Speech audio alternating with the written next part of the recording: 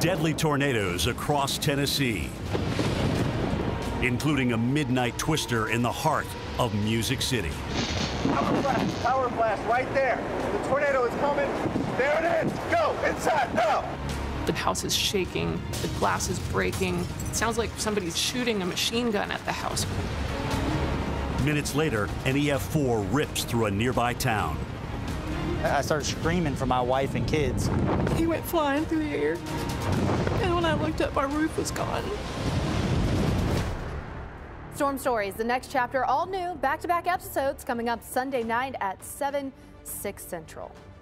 Well, unfortunately, there is a chance for isolated tornadoes in the Carolinas as severe thunderstorms ramp up today. Dr. Postel, you can tell us what to expect, what exactly is going on. They're having a rough morning so far this morning across portions of the Carolinas, so throwing in the severe weather is just kind of an insult to injury. It doesn't help. That's exactly right. But the good news, Felicia, in some sense, is that the severe weather threat is not really on the high end of the scale. Yeah, there's a chance, as you were saying, of an isolated tornado or two and some winds uh, in some thunderstorms that could reach severe limits. But overall, the odds of a lot of severe weather are really not that great. That's good news. And we've got that chance, though, some chance of severe weather for parts of South Carolina and North Carolina. the bottom right part of your screen, you can see Charleston, 76 degrees. That's a very warm and humid start to your day. So if you think about warm and humid conditions being at least some of the ingredients that you look for for severe weather, Charleston's got it, and that's why we think Charleston has some chance of seeing severe weather, as do other areas in coastal South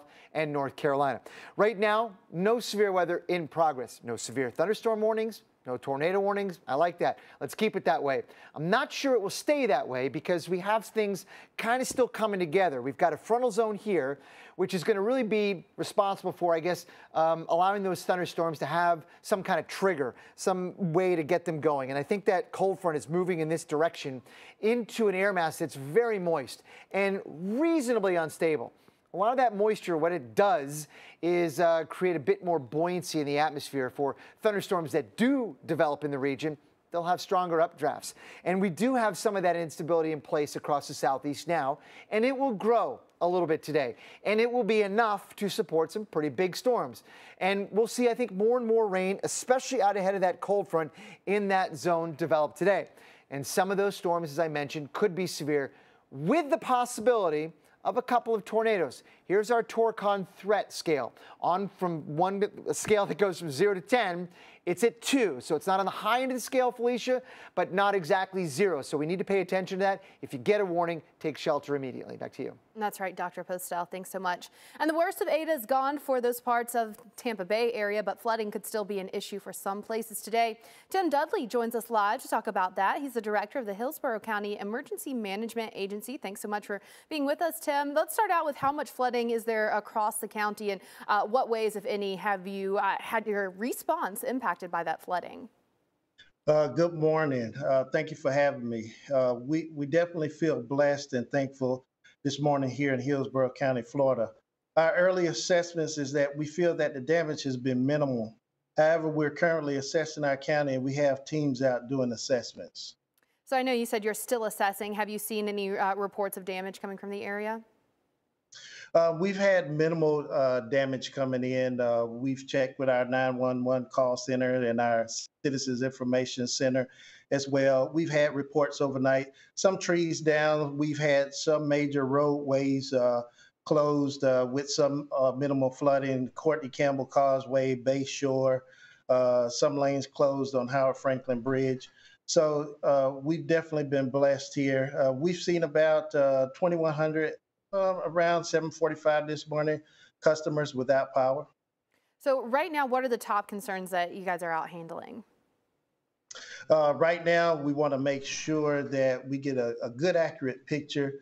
Um, if any impacts here in the county, uh, we want to make sure all our citizens are safe, uh, that they're out of harm's way, and we'll continue to assess uh, any flooding or major roadways or low-lying areas.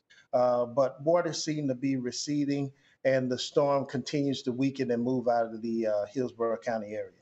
And quickly, Tim, you mentioned it. It is weakening and moving out, but now that Eta has passed, what do you want residents to know? Uh, want ready residents to know that hurricane season it starts June 1st, and it doesn't end to November 30th. And you have to stay vigilant. Um, you you got to have a plan. You got to have your emergency kits, and you got to know where you're going in and with. We call it an evacuation. This storm here, it moved fast, had a lot of wind, caused a little bit of surge and flooding. So it can happen anytime in between June 1st and November 30th. So we have to stay ready. Yeah, better to be ready and prepared. Well, thanks so much for being with us again. That's Tim Dudley, the director of the Hillsborough County Emergency Management Agency.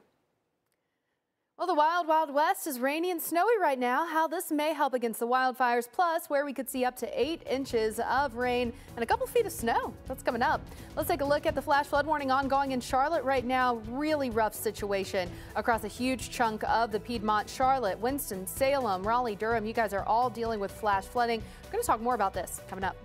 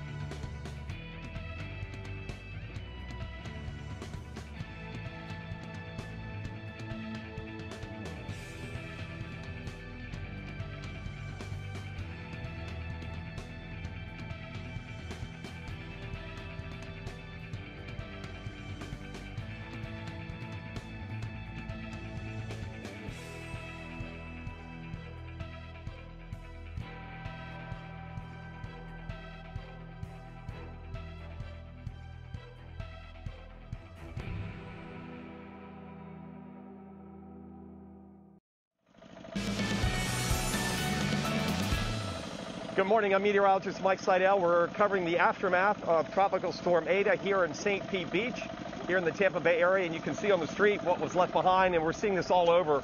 We came up, we came down from Clearwater Beach through Madeira, and all the streets have debris in them because of the uh, fresh water flooding and also the Gulf and Bay and that storm surge. Uh, we saw some places where they were using uh, the bobcats to get the sand out of the parking lots and the streets.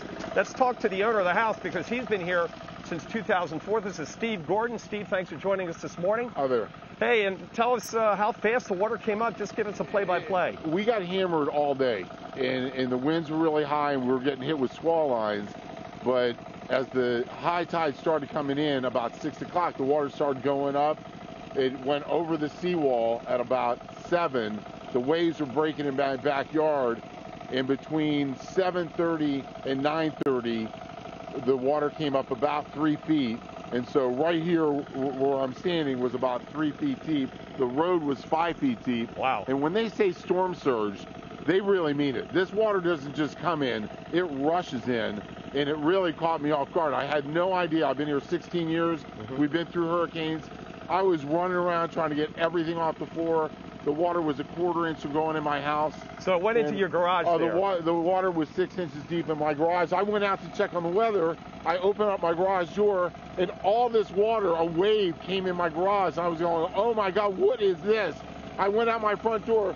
This entire road was underwater and it was just just crazy. And that's water from the Gulf of Mexico, uh, or the, the Bay. What happens is for our area, Pinellas County, is if we get a storm out to the west, let's say 50, within 50 miles, the winds on the east side of that storm hammer us with squall lines, plus the wind blows all the water into the bay. Got it. So the bay floods.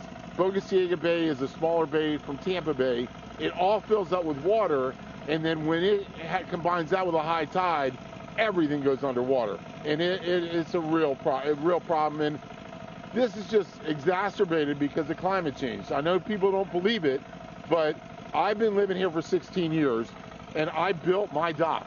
The water in the bay is up five to six inches since I've been here because I put those boards in. Originally, they were dry. Now they're wet 75% of the time. So we're just lucky this didn't happen in August or September when the water in the Gulf is warmer. We would have gotten even an extra three feet of water. But because the water was cooler, it didn't get us as bad as it could have. But any any storm that comes by Pinellas County um, and, and Manatee County out in the Gulf to the west of us within 50 miles is going to cause major damage. And I just am so grateful. A lot of my neighbors got two feet of water in their house. Mm-hmm. Um, all I did was get my garage flooded and get scared, but it was like, I'm just so grateful and I feel bad for all the people that got flooded out. We appreciate your story and we're happy that you're okay and everybody's okay. It's just the it's just property damage. Property and, damage and, that can be replaced. It, it, reminds you that that the, the best the best meteorologists can do is take their best guess of and and it's really normally close. They didn't anticipate a stall, a three-hour stall in the Gulf yesterday. So that's what built up this water. If it would have kept moving at the rate that it was going, we would have been mild, minor damage. But because it had a three-hour stall between three and seven o'clock or whenever that was, mm-hmm. it just filled the bay full of water and made things really bad. But I'm just grateful that I that you know it could have been much worse. Thanks for sharing your story okay. with the Weather Thank Channel. Steve Gordon here at St. Pete Beach. Wow, uh, 16 years, Dr. Postel. Never seen the water this high uh, here in uh, the Tampa Bay area, and we've seen other neighborhoods too that went through the same issue. We've been driving around. The water, for the most part, has receded across the whole area, but it's the uh, leftover mud and debris. And as Steve mentioned, some of the water actually got into the homes in this neighborhood. Yeah, and the good news is, Mike, is that we're dealing with Eta, which is weakening rapidly, and most of the heavy rain now has moved out over the Atlantic and will not come back into play for uh, most of the uh, areas in the southeast. The vast majority of the bad weather left with Eta is going to remain out over the water. There it is right now at 45 miles per hour in the wind speed. Moving north northeast at 15, and if you do the math, it's say it's 10 miles southwest of Jacksonville. It's probably within about two hours or so before it is indeed back out over the Atlantic Ocean and it will likely stay that way. It's not going to make another landfall, we don't think. But certainly some of the peripheral impacts will assist the cold front that's coming in with some additional rainfall in parts of South Carolina and North Carolina. Of course, we'll have much more on that. But I do want to bring the point here that we have another area to watch in the Caribbean Sea that has a pretty good chance of turning in, yes, to a tropical depression or our next named storm. And I do believe it's going to happen, and it's probably going to happen in the next, say, couple of days. 90% chance of Invest 98L being our next named storm on a path that's familiar, that's unfortunately going to be heading toward Central America. We'll be right back.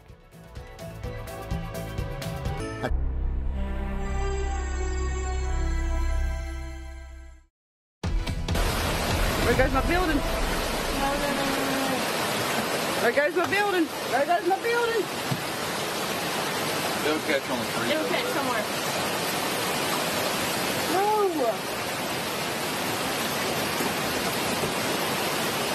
Please catch. Don't find a hot spot and catch. There goes my building. Breaking news. This is new video of emergency crews rescuing a family from flooding in Iredell County, North Carolina. And if you didn't hear the woman clearly, she said, uh, there goes her building. And you can see it there, that uh, shed there being washed away by this uh, flowing water. And that's why we remind you over and over again that the power of water oftentimes is underestimated. That could easily sweep you off your feet and sweep you away as well as uh, floating your car. We have this flash flood warning ongoing in the Charlotte area, Huntersville, Rock Hill included in that. And we've got about an hour left on this flash flood warning. We've had several inches of rain falling as we've had rain just setting up uh, over and over. It's what we call training. When you get this area of rain and those uh, showers and storms kind of continue to flow over the same places for uh, quite amount of time, that's called training and that often times leads to flooding, which is what we're seeing this morning across a huge chunk of the Piedmont. The Carolinas absolutely soaked. Uh, the D.C. area also dealing with that rain. Some very heavy rain moving through portions of Virginia. The uh, Delmarva Peninsula also very soggy this morning. Uh, so guys, it's a, it's a wet morning. I can't stress enough to give yourself some extra time, even if you're headed out, say, in Columbia. We've got that moisture continuing to feed through. Not only do we have some flash flooding issues, we've had water rescues, uh, water over major major roads. but then also uh, just the water falling from the sky, period. The rainfall could cause you to hydroplane, and that's an issue.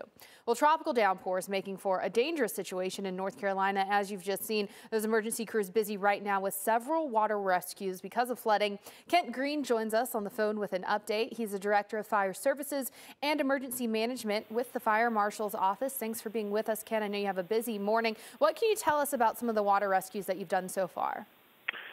Well, in Iredell County, we've done uh, anywhere from 10 to 15 rescues, some of those from cars, some of those from structures that the floodwaters were encroaching upon, uh, some as high as uh, the windows of the structures. And Ken, uh, any roads in particular that you want to tell people to avoid in that area right now? Typically, in the northern half of the county is where our problems uh, are occurring. Uh, we've got about 20 to 25 roads that are closed. DOT is working to get barricades set up. The fire departments are uh, temporarily manning those uh, to keep people from driving through the rising waters. Uh, and then we've got about uh, three or five, three to five motor vehicle accidents as well that have closed down some major roads due to hydroplaning or uh, visibility issues. So, do you have any evacuations uh, underway right now? We do not have any evacuations. Uh, one of our ele- elementary schools is closed uh, just due to the proximity of the floodwaters. Um, we do have a campground in an adjacent county. It's right on the county line where 31 people were evacuated. Uh, unfortunately, five are unaccounted for, and searching is still underway for those. And you just hate to hear that, Kent. Uh, obviously, the dangers from the flash flooding, we know that, but what other issues are unfolding because of this flooding? Well, I think the visibility is an issue. Um, the heavy downpours are causing um, visibility to be limited, especially on the interstates. Uh, just asking people to slow down, travel only if you have to, um, and stay tuned to local media uh, for reports of where to and where not to go. Yeah, all uh, very important advice this morning. Thanks for being with us. Again, that's Kent Green with the Fire Marshal's Office. a dangerous situation unfolding as this tropical moisture continues to flow in uh, across the Carolinas. Now, speaking of tropical moisture, Eta whipped up southwest Florida with that heavy rain, but then also storm surge, mainly under the cover of darkness. It triggered gusty winds up to 50 miles per hour across the Tampa Bay area. Eta has also brought the fourth highest water level at the St. Petersburg gauge with nearly three and a half feet. Now that rain is now moving across central Florida and into the eastern part of the state. Let's take a live look at Orlando, Gainesville, and Jacksonville. Ah, not what you want to see when you're talking about the Sunshine State, right, guys? Very rainy. Expect that rain through the day and wind gusts up to 40 miles an hour. Dr. Postel, you're going to uh, take a closer look at where Eta is now and what can we still expect uh, from those gusty winds? Gusty winds, you're exactly right, Felicia, along the northeast coast of Florida, Amelia Island, uh, Vedra, just areas in and around Jacksonville, southward through um, Ormond Beach, Daytona Beach, some gusty winds of 30 plus miles per hour. But once you get inland, really over north central Florida, there really is not much wind at all, and most of the rain now is moving away. This loop takes us back about, well, since earlier this morning and late last night and you can see that Eta made landfall here near Cedar Key just after 4 a.m. local time, Eastern time, and is now moving northeastward. It's about, you know, 15 miles or so southwest of Jacksonville. Uh, and most of the weather now is offshore. You can see there's a fairly substantial rain band here. But uh, even still, with most of the rain offshore, some of the areas right along Florida's first coast here are seeing some gusty winds. As I mentioned, Amelia Island, Fernandina Beach was gusting to 40 miles per hour about an hour ago, now 36. But plenty of other locations along the coast are still pretty breezy but that will calm down. Once the winds turn out of the west, the wind speeds will come down. Gradually, drier air will come in and the weather will be improved. It's only a couple of hours away. That's really good news. But the problem is we're still dealing with some of the circulation around Eta. There's that pretty big slug of uh, rain and thunderstorms off the coast. It's going to try to work its way toward the north and northwest.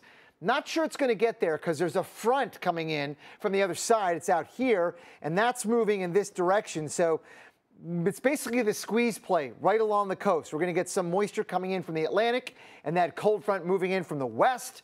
Both of those will lead still to some heavy rain chances along the coast of maybe Georgia, but more so coastal South Carolina, and North Carolina, much like this model suggests. Now, there's a lot of precip here right along the shores and just off the coast uh, later on tonight, uh, but that will be pushed away, I think, pretty quickly as that front as a pretty progressive front will be swooping through and bringing in much better weather, certainly by tomorrow and tomorrow evening. Felicia. Thanks, Dr. Postel. So let's talk a little bit more about Eta's surge and the coastal impacts on Florida's west coast. Our meteorologist Mike Seidel joins us live in St. Pete Beach for a closer look at what the storm did there. Uh, Mike, how's it looking? It's looking better this morning. The water has receded. It was surge here in St. Pete Beach. We've got Tim and Deb McLean. They're cleaning up after uh, that water came in, and the timing couldn't have been any worse because it came in at high tide last night. Yeah, it did. And then, you know, with the surge, and then the wind was coming right at us in the back over the seawall. It was pretty insane. How long have you guys lived here, Tim? Uh, almost seven years.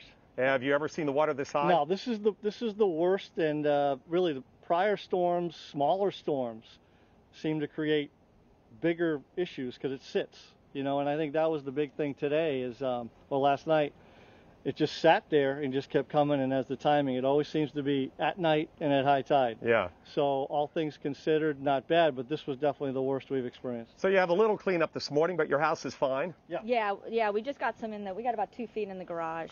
But you were worried about the garage because of that uh, classic car. Yeah. So that's that's kind of our baby, and uh, that was a big, big concern. It probably got up about, um, well, maybe a foot on the rear tires and stuff Whoa. like that. So yeah, I gotta. I'll take it out once we're all dried up and spray everything down, get the salt out of it. Uh, so piecemeal, taking a, every little bit here. Did you guys lose power over here at St. Pete Beach? For like a not Yeah, real 10 quick. minutes or something Yeah, like that, middle of the nothing to night. speak of. Yeah. Nothing No, we were really of. lucky. Well, yeah, you are. Your house is fine. You're fine, and Yep. I, your neighbors are in pretty Very good gra- shape too. We're very grateful. and this is this is what we're really seeing around the area. Is just this cleaning up this the debris. water was up to the top of that step. My husband's already cleaned it, so it was it was getting Very It close. was getting very very close. Very- And part of it is, I don't know if you talked to the. Uh, I talked to Steve down the St. street. Pete. I mean, part of this work is to eliminate the biggest problem. So if you get water coming from the bay and then it's backing up in the street, it. I mean, talking about nowhere to go. Right. Uh, and what's happened? They're, They're trying to putting in some kind of drain, drainage around the corner. Yeah, to at least keep it from coming in before it gets over the seawall. So, you know, the drain's below. Well, the water's coming in well before it really needs to. And it's been something they've been trying to fix for 10 or 15 years. I mean, the guy over here has been fighting this battle for a long time. They just haven't got to the point yet where it would have helped on this particular storm. I think once they do that, That'll help.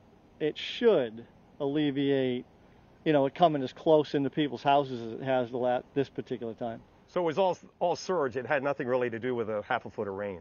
I don't think the rain was Yeah. the big factor. I think it was the surge. I think I, I think it was more the surge and it couldn't go anywhere. That's that's what I'm hearing. I think Yeah. that makes sense because you've you're surrounded by water down here. Yeah. Yeah, we Yeah, are. yeah. I mean, I've lived in Florida my whole life, and I haven't experienced anything like I did last night. It was pretty scary. Well, I'm so happy the water didn't get into the house. Yeah, Yeah. so Oh my are God. we. and that your classic Camaro is fine. Yes, yes. So uh, all, the big things are, are, that are important, And we're all good. good. You're So- good. That's right. okay, Tim and Deb McLean, thanks for joining us here on the Weather Channel. And back Great. in Thanks, Atlanta, guys. they're continuing to monitor the rains from Eta. Felicia, we've had water rescues and flash flooding up in the Carolinas. Give us the latest and follow up on what's in store for the rest of today up the coast. Yeah, just a really messy morning, Mike. Thanks so much. Let's talk about it because the Queen City already absolutely walloped by that rain this morning. You can see the rain running through the streets. Uh, definitely wet roads out there. You want to give yourself some extra time. You don't want to be rushing. This amount of rain on already soaked ground could certainly cause you to hydroplane. And then, of course, we have multiple roads underwater. That tropical moisture and a front interacting, and that rain is soaking the southeast into the mid Atlantic. That includes places like Raleigh, North Carolina, and D.C. Taking a live look there, you can see uh, certainly we have the uh, drops on both of these cameras there. Flooding, flash flooding, going to be an issue. As mentioned, we've got a couple different things interacting. We've got that tropical moisture flowing over this area, interacting with the front. Now, once we get that front to clear out, it's going to be uh, much better, but we've got to deal with this rain for quite some time throughout the day today. So far, we have already had the wettest November day on record in Charlotte, and we just blasted the old record from 1985 out of the water by uh, an inch of rainfall already, guys. And the rain is not done yet. This is a really um, a treacherous situation. Truthfully, we've got uh, water rescues that have been ongoing, roads at I-85 in places covered uh, by waterfall, uh, covered by rain. So this is just a problem. We've got this flash flood warning ongoing until 11 a.m. Eastern time in that area, and the rain is not letting up anytime soon. All of those little green shaded areas that you just saw, those are flood alerts, and we're just going to continue to see this rain falling until we finally get that front to clear it out. So Wilmington, the um, Hatteras, the Outer Banks, Norfolk, you guys are stuck in the rain for a few more hours until we get that front to sleep through, uh, sweep through. The good news, Charlotte and Raleigh, as we head through, say, the early afternoon in Charlotte and late afternoon into the evening in Raleigh, you guys are clearing out. Wilmington, though, uh, you guys are going to be stuck in it into the early overnight hours. But once that next front moves through, things will be looking much better. So here's what we have uh, going on. We have flood watches you can see for Places like Charlotte, flash flood watches for Lumberton, that is across the coastal plain, Richmond, down into Myrtle Beach. All of you guys could see some flooding, and that is part of the problem. So here's what I was talking about. We've got all that tropical moisture in place. You can kind of see that tropical moisture down here around Eta, but here is what's going to help us. All of that dry air that's going to be filtering in behind that next more vigorous front that's going to move through and clear all of this out. So while the front that we have right now is causing us problems, it's helping to enhance that uh, rainfall from that tropical moisture from Norfolk back into Charlotte. Uh, that entire area that I have circled pretty much all under flash flood warnings. Um, but once the next front moves through, you guys are going to clear out. The problem is the uh, local rivers, the streams are still going to be swollen. So you have to keep that into mind. Uh, we have a flash flood warning for places like Greensboro as well. Here's what we're looking at as far as uh, rain still to come. This is through tonight. Generally, especially along the coastal plain, we're talking about one to two inches, maybe three to five inches as well. But certainly some locally um, higher amounts of five to eight inches can't be uh, counted out. We've already seen quite a bit of rain there. There's a severe area we're watching closely as well as tropical downpours. They push across the southeast, Dr. Postel. So you're going to break that down for us a little bit more. Yeah, Felicia, we do have a chance for severe weather in cross parts of South Carolina and North Carolina this afternoon. Right now, we don't have any specific chances are going to be greatest for some of that severe weather. A couple of reasons why. One, we have that front, which is really driving a lot of that rain that's in progress as we speak. That's moving toward the east and southeast like that but it's running through an air mass that is very, very moist, in part because of the circulation around Eta is drawing it northward from the Atlantic and Caribbean. So you have the cold front moving in to an atmosphere that's being it's already very moist, but it's being moistened even more by a tropical cyclone. So there's a lot there to work with if you're that cold front and you want to make thunderstorms. And part of it is the instability. Those areas in yellow and orange are where the atmosphere, even right now, is unstable enough to support severe thunderstorms. Now, there's more to it than that, which is why we're not seeing severe thunderstorms break out everywhere in that zone.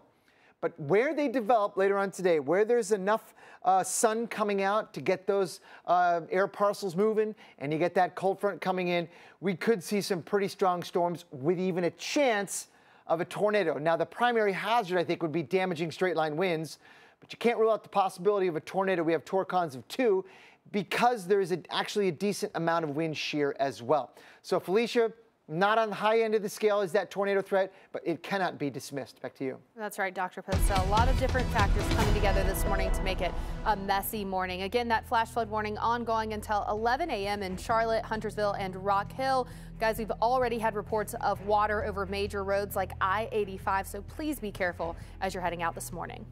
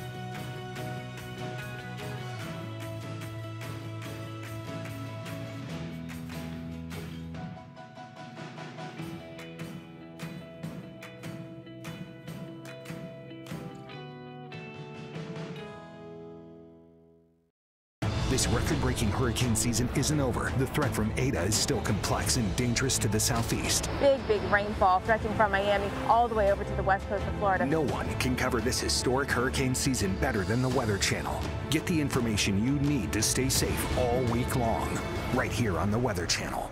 There goes my building. There goes my building. There goes my building. It'll catch on the tree. It'll catch somewhere. No. Breaking news now. This is new video of emergency crews rescuing a family from flooding in Iredell County, North Carolina.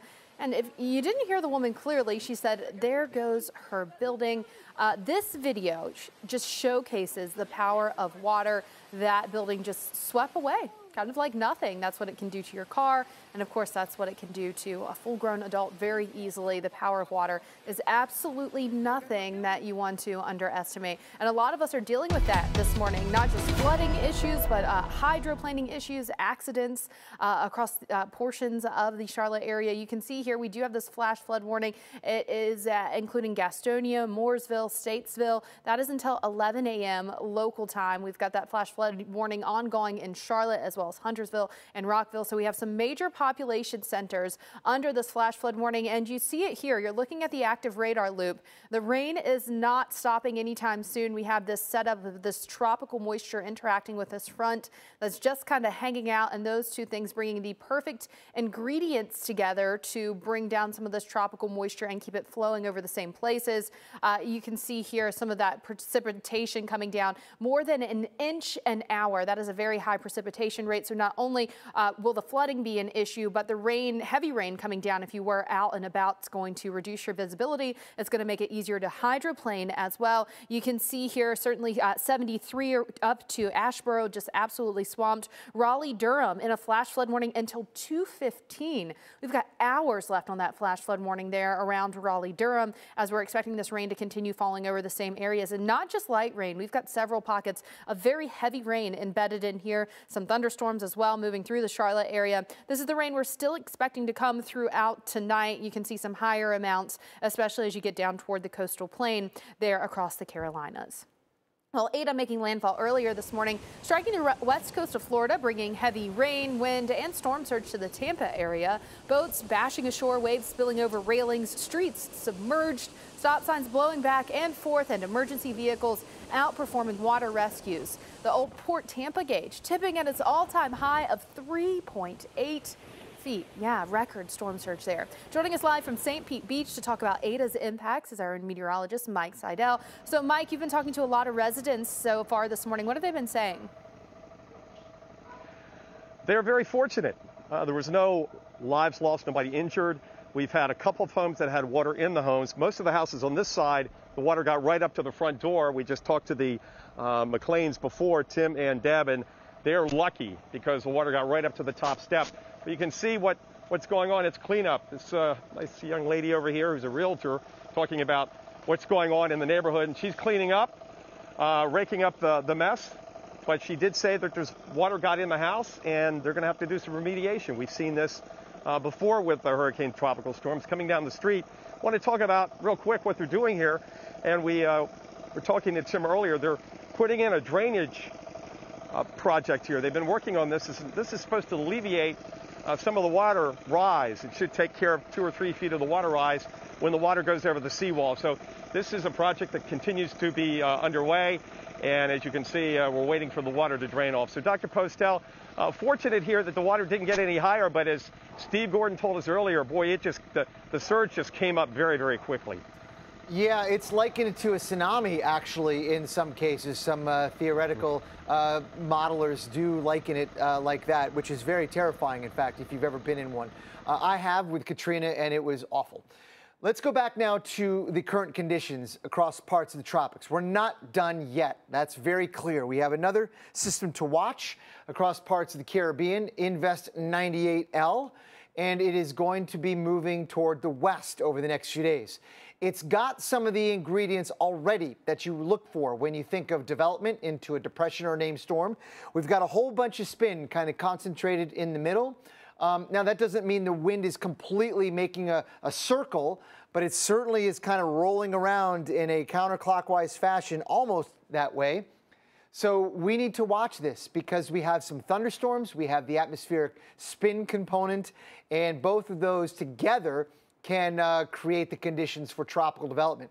And we have that condition, I think, almost met with 90% chance of 98L turning into either a depression or a next name storm. That would be Iota.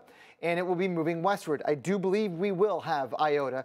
And I do believe it is a real threat to Central America because if you track it out, you can see that it moves westward on a path, most likely in this way, to impact Central America. Now, think about that. Just go back about a week or two. Eta was in the same place, and Eta brought a ton of rain to some of those very same regions.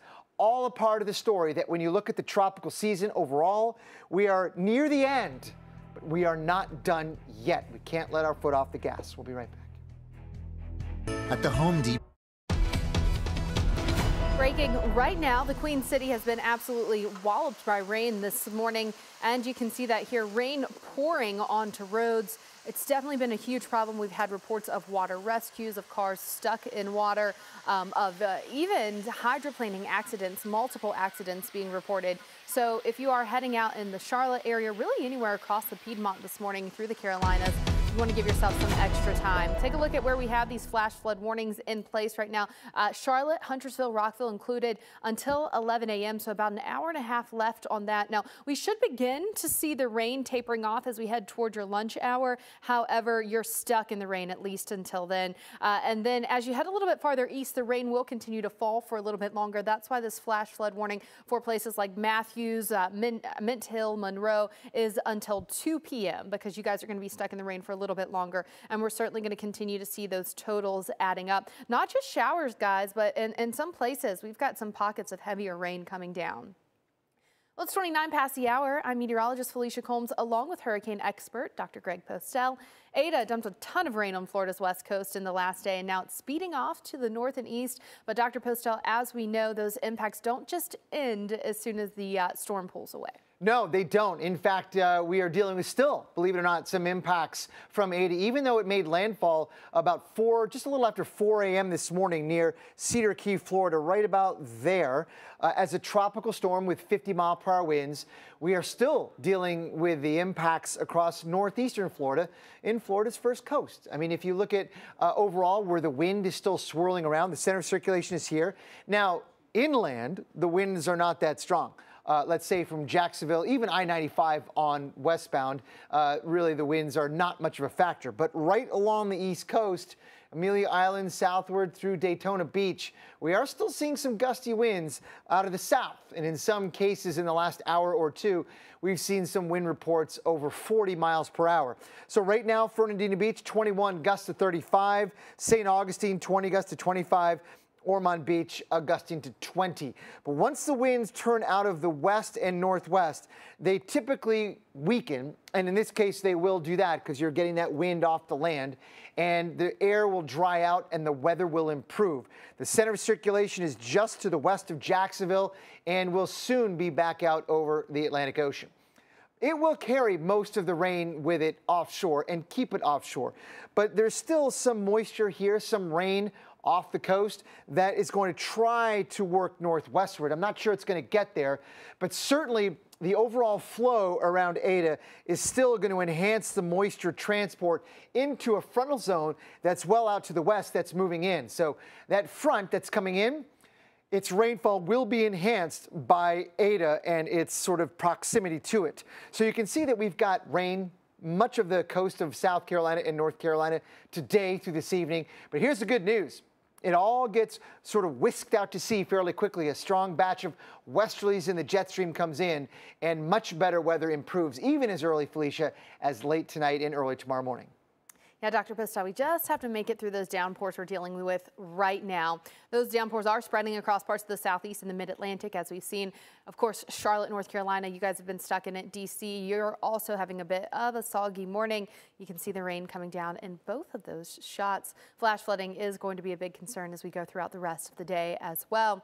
So we finally get that next front to sweep through and clear things out. So let's talk about what you're dealing with this morning. I can't stress enough if you're heading out uh, around Charlotte, Winston-Salem, Raleigh, Durham, give yourself a little bit of extra time this morning. That flash flood warning, a little less than an hour and a half left for that flash flood warning in Charlotte, uh, Huntersville, and Rock Hill.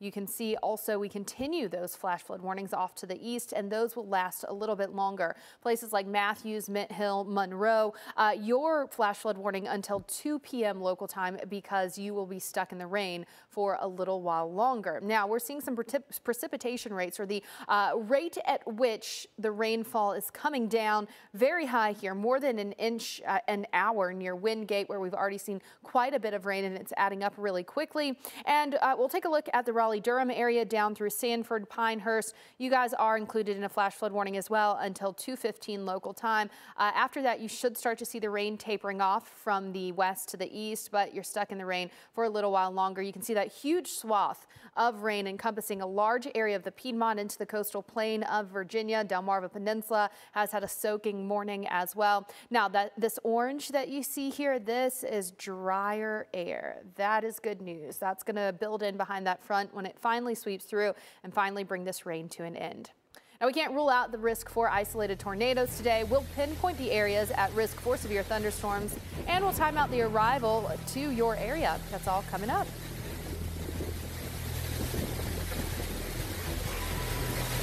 Someday.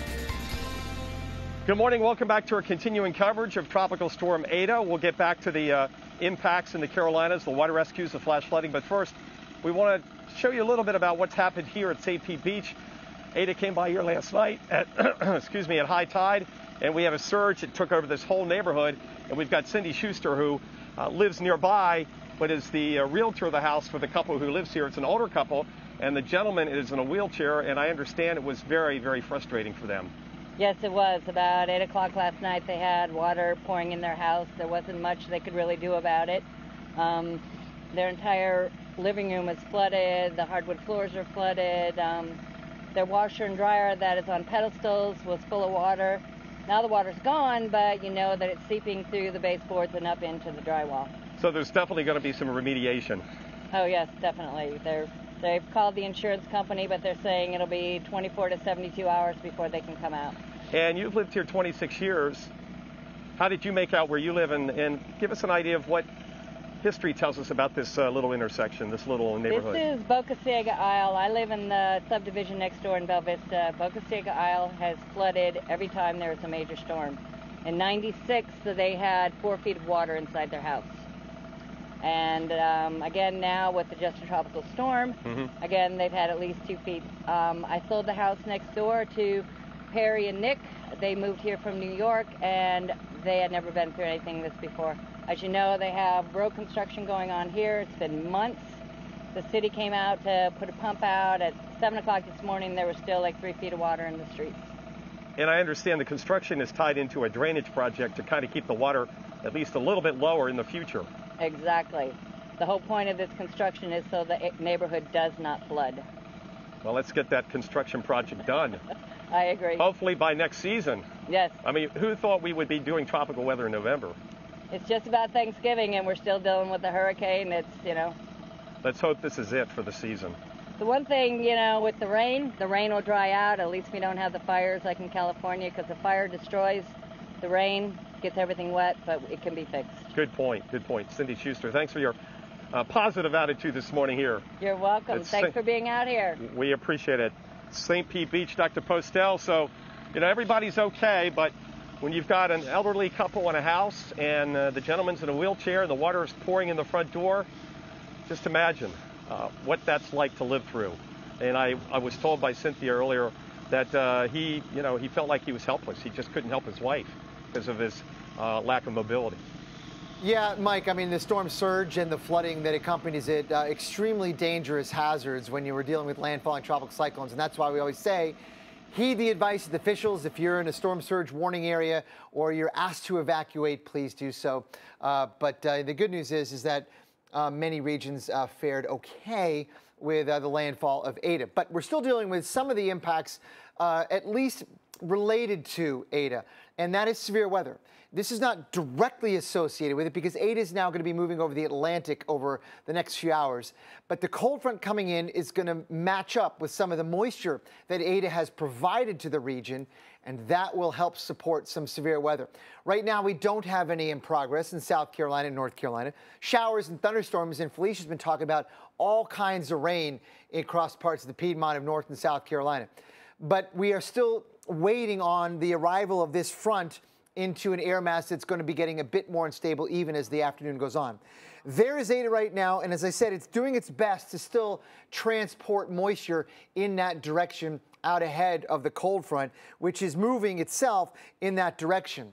So you can see there's a squeeze play ongoing, which is giving us all that rain, but it's also going to set us up, I think, for a shot at some severe thunderstorms.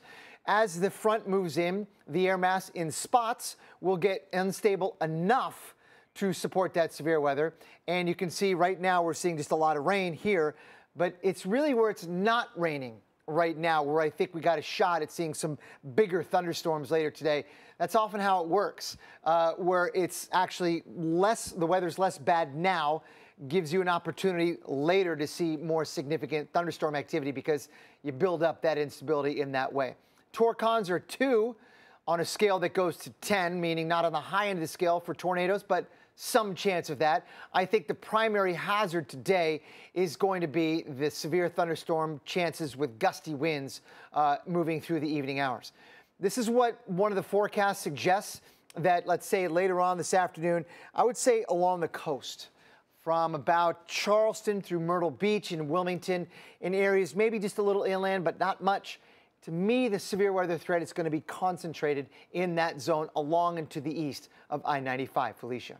Thanks so much, Dr. Postel. Let's talk about what is ongoing in Charlotte, what has been a problem so far this morning, and that is flooding. We do have a flash flood warning ongoing in cities like Charlotte, Huntersville, and Rock Hill until 11 a.m. So we've got a little while longer left on this. Now, the rain is going to begin to taper off, but it is not done just yet. Even after that rain tapers off, though, you are still going to have some uh, standing water in those flood-prone places because we've just seen so much rainfall, and it has added up. Not just there, though. You can see that stretching up through the Piedmont Of uh, North Carolina into Virginia as well. Richmond, that rain beginning to move in for you. Raleigh, Durham, you guys are dealing with the possibility for some flash flooding as well. We've got more on this coming up after the break.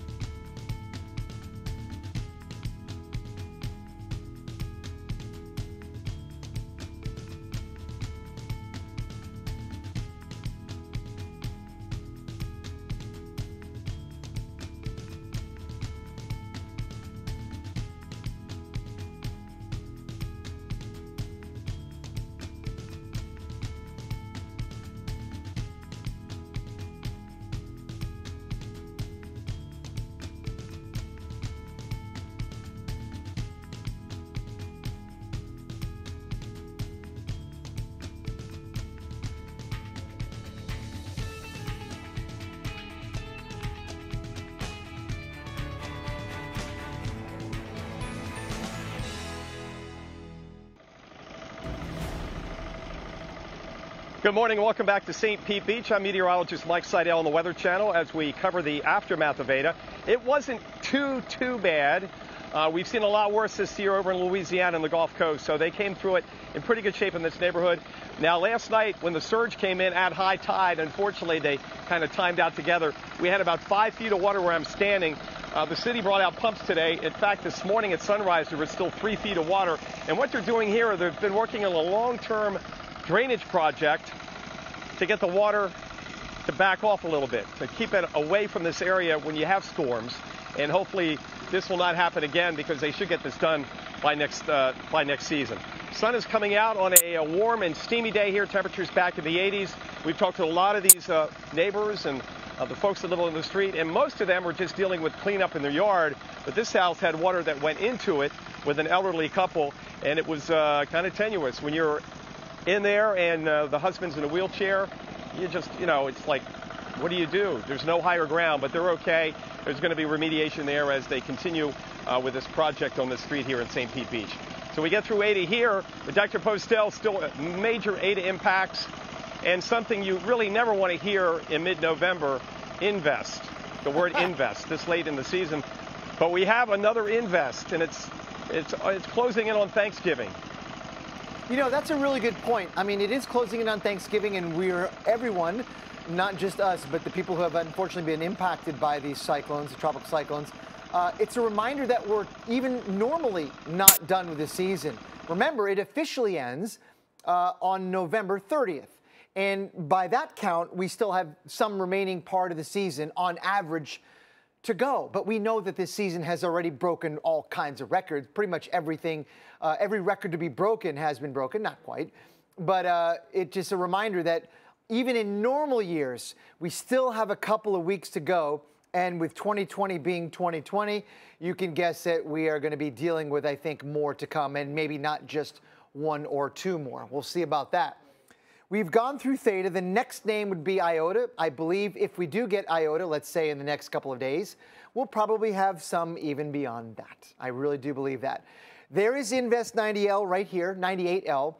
This is the system that we're watching. This is what Mike was talking about, an invest. It is an area to watch in the tropics that's got a chance of turning into either a depression or a named storm over the next few days. This one has a really good chance of doing it because when you look at it in terms of the amount of spin aloft it's got, it's got a lot of it. That's the shading right there in blue and green, showing you that the atmospheric circulation is pretty pronounced in this region. Now, the wind's not going around completely in a circle like that. It's more of an open wave still, but that's still circulation, and we've got plenty of that. That's one of the things that you look for. The other thing is that it's got a decent amount of thunderstorm activity. So you put all those together, and there you go 90% chance of Invest 98L turning into a depression or a named storm over the next several days on a westward path like that. That path is very reminiscent of what we saw with Eta when it was in the Caribbean Sea, kind of like this. This is the forecast for Invest 98L, probably going to become IOTA. Look at where it goes. Central America, at least according to this model, and many others. Imagine that. Nicaragua and Honduras being yet again impacted by a tropical cyclone in a place where we can see very strong tropical cyclone even in this time of year. This is now going back to how much rain was produced by Eta 30 inches plus in some places. This new system, if the forecasts are right, could deliver yet another several feet of rain to the region. Now, this model shows some places getting over a foot, but we know that those are often underestimates. So it is indeed possible that Invest 98L takes a similar track through the Caribbean like Eta did, and unfortunately brings a lot of rain, flooding rain, to the, some of the same places that were absolutely inundated by Eta just one to two weeks ago. Felicia. Thanks so much, Dr. Postel. Let's get to new video now, where torrential floodwaters in Taylorsville, North Carolina are creating a dangerous situation. Look at this flowing water. Uh, you can tell certainly not supposed to be there. Look how fast that wall of water is flowing. You can see cars stuck. We've had several reports of um, uh, water rescues already this morning. Roads covered with water. Also, uh, the water rescues that we've been seeing all across North Carolina, South Carolina dealing with flooding this morning as well. So it has certainly been a problem, and we continue with a flash flood warning in uh, Charlotte, but also in Iredell County, where we saw some flooding video come out a little bit earlier. Definitely a huge problem this morning. Uh, Lincoln County included. That's until 11 a.m., so a little while longer left on this for Mooresville and Statesville. You, now, you can see the rain is going to begin to taper off uh, in places like Gastonia very soon, but Charlotte, you've got a little while longer left for that rain. We're going to talk more about these flooding issues as we head through the rest of the morning, so stick around at the home. There goes my building. No, no, no, no, no. There goes my building. There goes my building. It'll catch on the tree. It'll catch somewhere. No. Breaking news now. This is new video of emergency crews rescuing a family from flooding in Iredell County, North Carolina. And if you didn't hear what the woman said uh, clearly, she said there goes her building. That shed just absolutely being washed away by the power of that flowing water, which has uh, been something that we've seen quite a bit this morning. Torrential floodwaters in Taylorsville, North Carolina as well. Just such a mess across a huge portion of the Carolinas. Look at this. This is clearly not where water is supposed to be, and this isn't a little bit of water. This is a lot of water. This is enough water to uh, float your car. This is definitely enough water to pick you off your feet. Uh, and uh, you can see just as far as you can see, really, water in this shot where it's not supposed to be. Here's the problem. The rain is going to come to an end, but the local rivers, the local streams are still going to be swollen, and those flood prone places will likely still have standing water. So keep that in mind, even as the rain does begin to taper off. It's already been a record rainfall day for a place like um, Charlotte, where we have seen our wettest November day on record ever, and the rain is still falling. We're up to four, nearly four and a half inches of rain. That just blows the old record of uh, 3.26 inches of rain out of the water. As mentioned, that rain is still falling as well. We've got a flash flood warning for Charlotte, Huntersville, and Rock Hill. And here's the new information from this, guys. It has been extended until 1 p.m. now. So that was initially supposed to expire uh, at 11 a.m., so in less than a minute, but now extended until 1 p.m. because we're just not seeing that rain come to an end quite uh, as soon as we thought. Now, will it begin to taper off? Yes, it will. But currently, uh, still stuck in that rain and adding to those totals. We do have a flash flood warning for for uh, Matthews, Mint Hill, Monroe until 2 p.m. As you head farther north and east, you're going to see these flash flood warnings lasting a little bit farther into the evening because our clearing is going to go from west to east. You can see it here as drier air builds in and we finally get this front to clear out of the way. It will clear out, but man, it is messy so far this morning. Here's that drier air that I was talking about, all this orange that you see here, but we have all of this tropical moisture interacting with uh, the first front that's kind of hanging out and those things coming together are really enhancing that rainfall that we've seen so far this morning. It is a dangerous situation out there. I can't stress enough, give yourself a little bit of extra time if you're heading out across the Carolinas, across uh, Virginia, D.C., the Delmarva Peninsula. Now, here's what we're looking at as we head through your Thursday afternoon. You'll notice maybe a speckle of a shower or two around Charlotte. Raleigh, you're still stuck in that rain at 3 p.m. and certainly along the coast, places like Wilmington and Hatteras, as well as Norfolk, you guys are going to be stuck in the rain for the longest period of time because it is clearing out from west to east. So here, the Outer Banks at 9 p.m. tonight still stuck in that rain, as well as Wilmington. In fact, the Outer Banks, you guys are going to be the last to clear out as we head into early Friday morning. So certainly some of those low-lying flood-prone uh, places could be having those issues. Flood watch and flash flood watch in effect. That is through tonight for places like Charlotte. So, of course, a watch and a warning is different. A warning is it's ongoing. That flooding is imminent. It's happening right now. Uh, the watch just means that conditions are possible for that to happen. That flash flood watch stretching to the coast as well. So this is what we're looking at through tonight. More rainfall expected to come. And as I mentioned, you're going to see some of those higher totals adding up along the coast some pockets of three to five inches, but certainly some isolated amounts of five to eight inches can't be ruled out as we head through the rest of tonight. And those tropical downpours, they're of course making for a dangerous situation in North Carolina. Emergency crews busy right now with several water rescues because of the flooding. Kent Green joins us on the phone with an update. He's the director of fire services and emergency management with the fire marshal's office. Kent, thanks so much for being with us on what is a very busy morning for you guys. What can you tell us about some of the water rescues that uh, you've seen so far this morning? Well, we've had anywhere from 10 to 15 water rescues. Several of those were cars that attempted to cross flooded roadways or bridges. Uh, several of the others were from uh, residences where the water was encroaching on the buildings uh, as high as up to the windows. So, are there any roads or areas in particular that you you want to tell people to avoid? It's mostly right now in the northern half of the county in our what we call the central school community or central fire district as well as the Trinity uh, community. Um, the roads around Snow Creek and the South Yadkin River, uh, those particularly in the bridges in those areas, we've had two bridges, uh, or one bridge washed out and two roadways washed out. So it's still a very dangerous situation. Oh, definitely very. And Kent, I know when we talked last hour, you said you don't have any evacuations underway, but has that changed? It has not. Uh, so, of course, we know the dangers of the flooding. That is always an issue. Are there other issues unfolding? I know you said you have bridges washed out. Uh, are you seeing anything like power outages or anything like that? We have had some power outages. We're at about 200 customers without power right now, uh, primarily due to trees down on power lines. Uh, the rain has subsided, so the visibility is improving, but there's still a lot of standing water on the roadways that is causing some motor vehicle accidents as well. Yeah, definitely one of those mornings where you want to give yourself a little bit of extra time. Thanks for being with us. Uh, again, that's Kent Green with the Fire Marshal's Office. Such a, a busy, dangerous morning there. And Dr. Postel, it's not just going to stop with the rain. Those tropical downpours, they're pushing across the southeast and mid-Atlantic. But we also have that possibility for some stronger storms as well. Yeah, we do. The Storm Prediction Center has outlined an area, Felicia, across parts of South Carolina and North Carolina where we got a shot at some severe thunderstorms. And that does include areas like uh, Myrtle Beach, Wilmington, New Bern. I think probably the western section of this outlook can be trimmed back a little bit because more stable air has moved in from the west. It's really, I would say, this from about the center line on east that we're going to be dealing with the greatest chance for that severe weather. And if you look at the radar right now, we don't have any severe thunderstorm warnings in progress, but you can almost draw a line where the front is right about in here and sort of along into the east of that, that we still have that instability in place, the kind that is sufficient to support severe weather, even though we don't have any now if storms get going in some of these areas, let's say from Charleston on northeastward, then we could be looking at some of those uh, tapping into that instability and becoming severe. Overall, the big picture is pretty clear. We've got some of those ingredients in place. This is Eta right now. It's a tropical storm over North Florida, about ready to move through Jacksonville.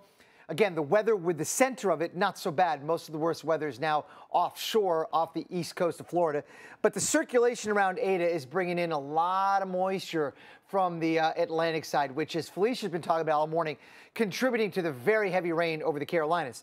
But also this frontal zone coming in from the west is complicating factors. It is that moisture return and the front moving in that is going to provide some of that ingredient list for severe thunderstorms. And if you look at the amount of instability that's in place, there it is, even all the way from coastal Georgia on northward, that is sufficient to support that severe weather. Now, what else I'm going to show is the, our torcons. We've got a chance here for some of those thunderstorms to produce tornadoes. This is not a high-end tornado event by any means, but the fact that we've got torcons of two, that is enough to say that we've got to keep an eye on any storm that pops up because there is enough wind shear to support little supercells that'll be racing through the region. Again, something to watch going forward over the next few hours. Overall, I'm going to go through now the forecast of the radar.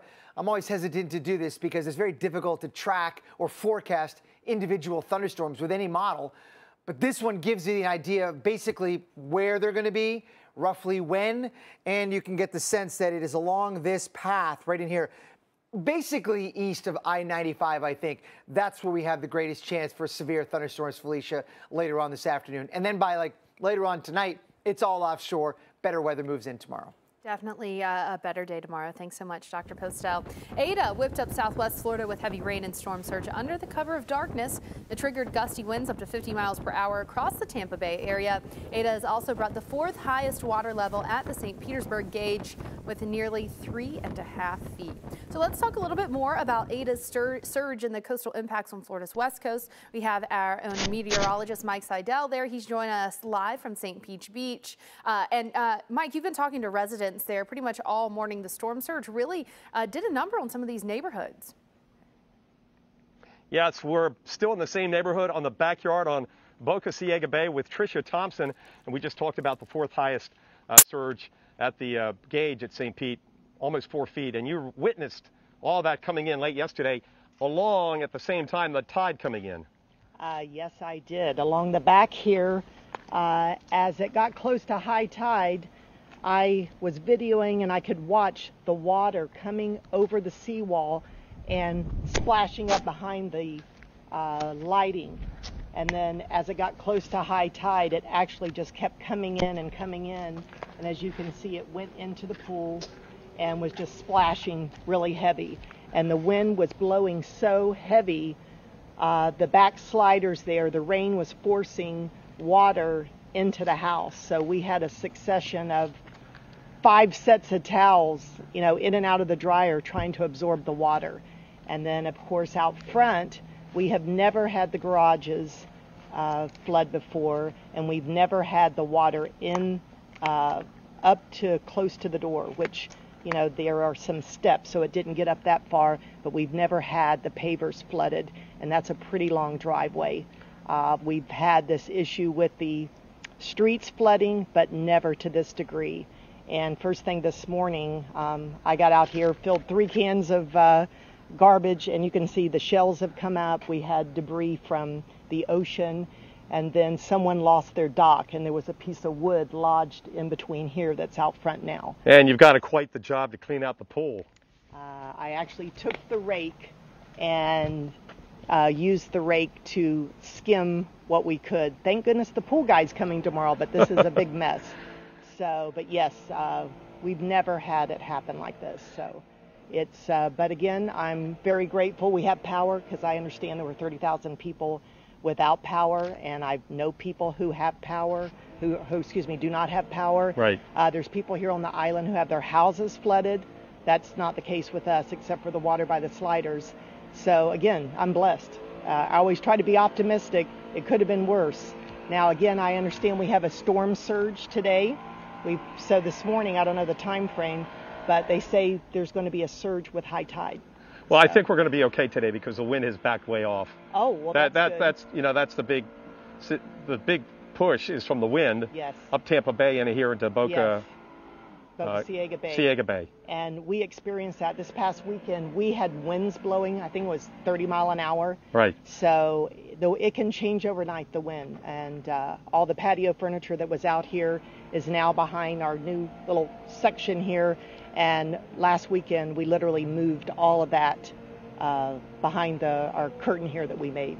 Okay, Tricia Thompson, we appreciate your replaying the day yesterday, which you hope you won't have to go through again anytime soon. it Well, is November, so Yeah, it you was got to scary think last night. It was scary seeing the water, not knowing how far it was going to come. Well, exactly. And again, we knew that high tide was at 9:39, but still watching it, not knowing how much it could go up, but just as soon as high tide hit, then you did see the water starting to succeed. Thankfully. Yes, thankfully. Well, thanks for joining us this morning here in uh, St. Pete Beach.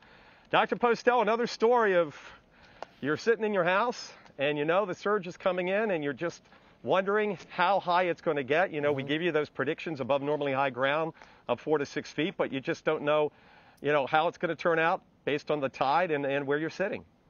Yeah, it's uh, still, there's a lot of unpredictability there. Even when we think we know how high the water is going to get, you never really know for sure, which is why you need to follow the advice of the local officials. When they really think that you should get out of the way for the worst case scenario, probably not a bad idea to do so. Thank you very much, Mike. Let's have a look now at where Eta is. Now, this goes back from last night. It made landfall, uh, Eta did, near Cedar Key, Florida, just after 4 a.m and is now basically over Jacksonville. That would be the center of the circulation, but there really isn't much wind anymore over land near Jacksonville.